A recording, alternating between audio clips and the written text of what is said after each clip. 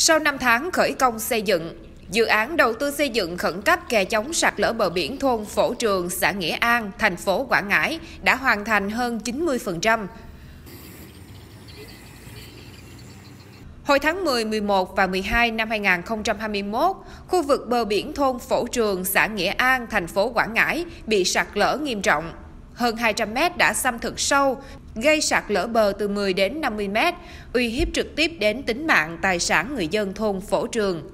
Để khắc phục, tháng 4 năm 2022, Ủy ban Nhân dân tỉnh Quảng Ngãi đã phê duyệt dự án kè chống sạt lở bờ biển thôn Phổ Trường. Giao ban quản lý dự án đầu tư xây dựng các công trình giao thông tỉnh làm chủ đầu tư. Kè chống sạt lở dài 700 m thuộc loại công trình thủy lợi cấp 4 với tổng mức đầu tư 85 tỷ đồng.